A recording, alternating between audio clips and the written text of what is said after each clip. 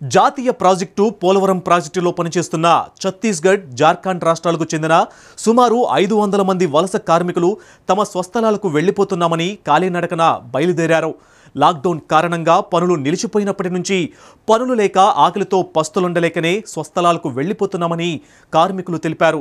స్థానిక పోలీసులు వారిని నిలువరించే ప్రయత్నం చేసినప్పటికీ ప్రాజెక్టు కాంట్రాక్టు సంస్థపై ఆగ్రహం వ్యక్తం చేస్తూ లాక్డౌన్ కారణంతో ప్రాజెక్టు పనులు నిలిచిపోవడంతో ఉపాధి లేక ఇబ్బందులు ఎదుర్కొంటున్న తమను కాంట్రాక్టు సంస్థ ఏమాత్రం పట్టించుకోలేదని తినడానికి తిండి కూడా లేని పరిస్థితుల్లోనే స్వస్థలాలకు ప్రయాణమయ్యారు. है ना?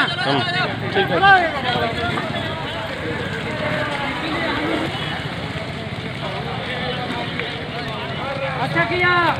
अच्छा है।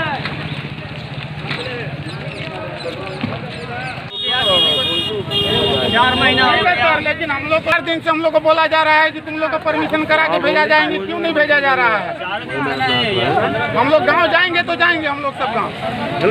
Video video. जाएँगे सर हम लोग टोटल आदमी हम लोग गाँव जाएँगे।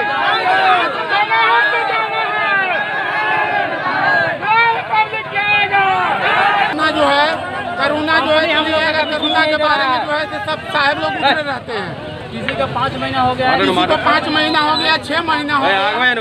इसी चलते सर हम लोग गाँव जाना चाह रहे हैं खाना पीना कुछ नहीं हम लोग को मिल रहा है उधर। राशन पानी जो सरकार गवर्नमेंट दे रहा है हम लोग को कुछ नहीं मिल रहा है उधर पब्लिक को। इस चलते हम लोग पूरा पब्लिक हम लोग घर जाएँगे। हम लोग को कोई नहीं रोक